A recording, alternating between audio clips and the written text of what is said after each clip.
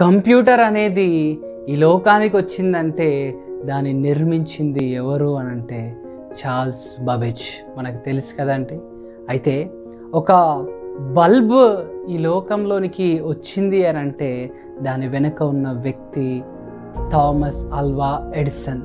ఇది ఎంత వాస్తవమో? ఒక బల్బ్ గురించి ఎక్కువగా ఎవరికి తెలుసు అంటే అందరూ ఒప్పుకోవాల్సిన సత్యం థామస్ అల్వా ఎడిసన్ అని. ఒక కంప్యూటర్ గురించి ఎక్కువగా ఎవరికి తెలుసు అని అంటే అందరూ ఒప్పుకోవాల్సిన సత్యము చార్ల్స్ బాబేజ్ అని. అయితే మన విషయంకి వచ్చేసరికి మనుష్యులమైన మనము ఈ లోకానికి వచ్చామంటే దానికి గల కారణము దేవుడు. అయితే నీ గురించి నా గురించి ఎక్కువగా ఎవరికి తెలుసు అంటే దేవాతి దేవుడికి మాత్రమే.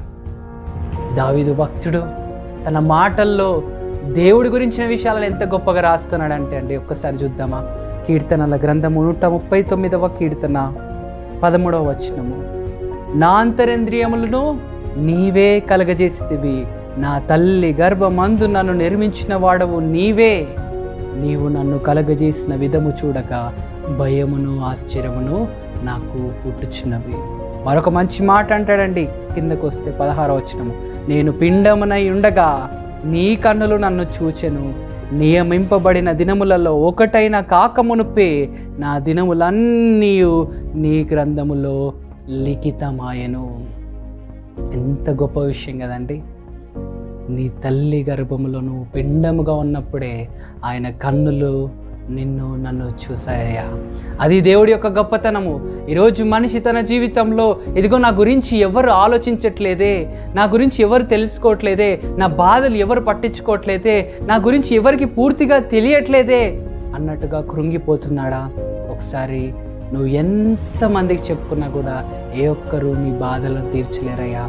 నువ్వు రావాల్సింది నిన్ను సృష్టించిన సృష్టికర్త పాదాల దగ్గరికి. ఆయన దగ్గరికి వచ్చి అడుగు. ప్రభువా నన్ను ఎందుకు సృష్టించావు ప్రభువా నన్ను సృష్టించిన దాని వెనకాలన్న కారణం ఏంటి ప్రభువా నా లైఫ్లో పర్పస్ ఏంటి ప్రభువా నా గురించి నాకు తెలియదయ్యా. నాకు చెప్పవా అని ఒక్కసారి మనసు విప్పి అడుగు. ప్రియ సోదరుడా సోదరిని నువ్వు నేను దేవుడి యొక్క దృష్టిలో ఎంతో విలువైన వాళ్ళము. ఎంతో విలువైన వాళ్ళము గనక. మనం ఆయనను అడగాలి ప్రభువా.